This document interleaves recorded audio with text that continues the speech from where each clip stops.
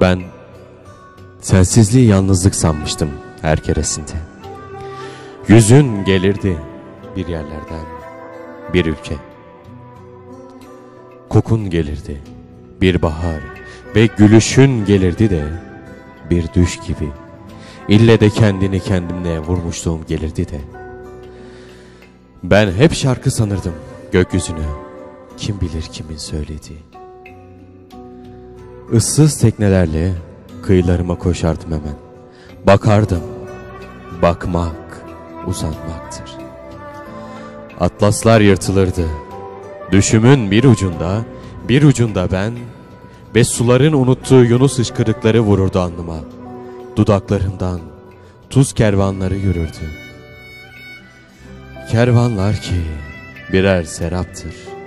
Harami günlüğünde. Sonra yalnızlıkların gelirdi postadan. Postacıların yalnızlığı çoğaltarak kapılar esnerdi. Kedi kedi pervazlar gevşerdi. Ve masanın insana yansıyıp yansıyıp kendine dönüşü yavaşlardı gitgide. Ve ben mektup görürdüm her şeyi. Rüzgarı okurdum.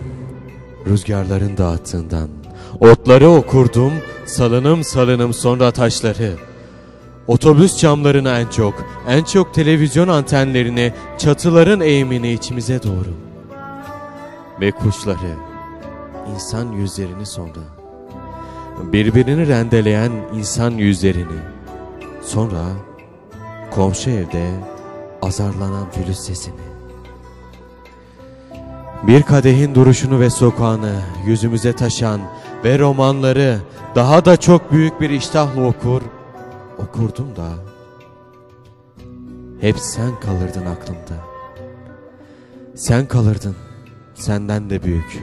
Anlardım ki insan bir başkasındaki kendini okur ve okunanlar, okunanlar yalnızlıktır ve sadece okunanlar yalnızlıktır.